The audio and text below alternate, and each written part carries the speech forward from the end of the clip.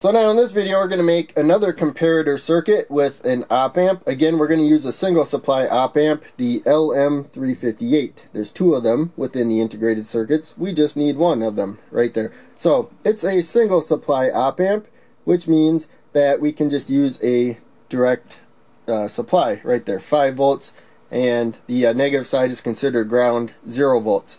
Dual supply means that in relationship to ground there's a negative voltage and uh, so you would not want to use a dual supply op amp for this particular circuit. Now, what uh, we did, last video we did a comparator, non-inverting comparator. Plus was down there, minus was up there. And uh, all I did was swap those two. That's all I had to do to change the uh, circuit.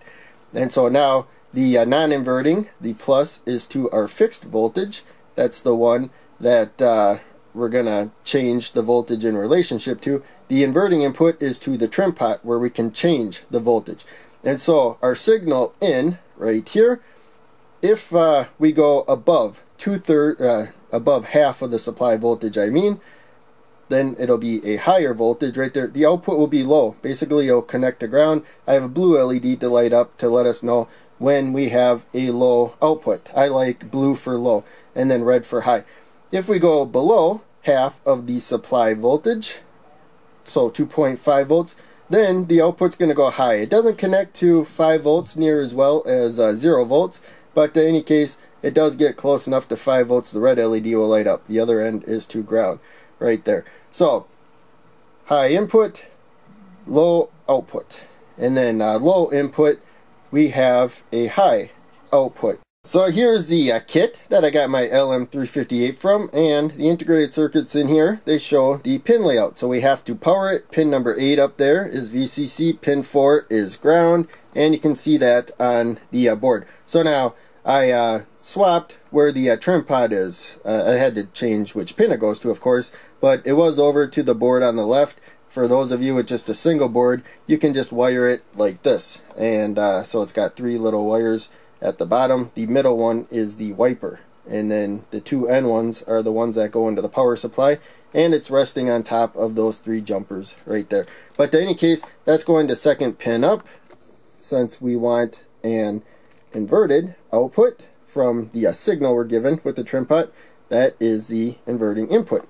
Right below it's the non-inverting input where we have our fixed resistors and the output is the uh, top pin. So you can see the resistors here going to pin 3 down there and uh, one spot below. And right here we have a couple resistors. So I'm going to use 220 ohms for the red LED because this doesn't output 5 volts as well as 0 volts. Plus LEDs need more current to get brighter. So it's a lower value resistor. That's the long lead short lead. The blue LED 1 kilo ohm because uh, it has more voltage to work with but also blue LEDs just get a lot brighter. So about four times the resistance it's going to equal out pretty closely to what uh, the red LED is. So short lead there, long lead the anode up to the positive supply. And uh, really quickly, before we move on, we will just do a quick uh, look at, uh, right now it's low, we're towards the uh, negative jumper there, and now we're high, we're towards the positive.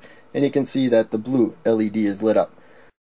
So now LEDs give a nice visual of when it is higher and lower. They may look brighter now, that's because I turned the uh, light, the lamp down a little bit and uh, the camera adjusts for that. But in any case, that gives a nice visual, but it's mostly voltages that are important. So we'll zoom back, there's 5 volts at the supply and you can also see the current. So again, the blue LED is brighter at lower current than the red LED. So that's one of the big reasons why I used a higher value resistor we got current limited 20 milliamps, 0.02 amps, just in case I short circuit something, it won't blow out an LED or something. But in any case, we're going to uh, put the uh, alligator clip from the oscilloscope there, clip to a jumper, and the voltage we're going to look at is in relationship to ground. 0 volts, the negative rail. We can go to the supply first, and you'll see right there 5, goes up 5 squares. Each uh, square is 1 volt. Now, we'll go to the uh, fixed resistors right there and you can see it is half of that supply voltage. So 2.5 right there.